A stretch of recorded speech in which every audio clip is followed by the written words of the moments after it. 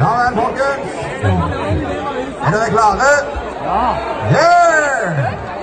For en sommerkveld vi fikk her i kveld. Hæ? Det var gøy. Det er altså 50 år siden vi spilte her, og da spilte vi på Tabben der oppe, som eh, over Reiersen, som var en ungdomskafé. Og det der starta vi vår kjempe, kjempelange karriere, som det heter. Vi har hatt eh, 50 fantastiske år i sammen. Ikke alle oss har vært med i 50 år, men eh, mange av dere har vi iallfall sett før. Det,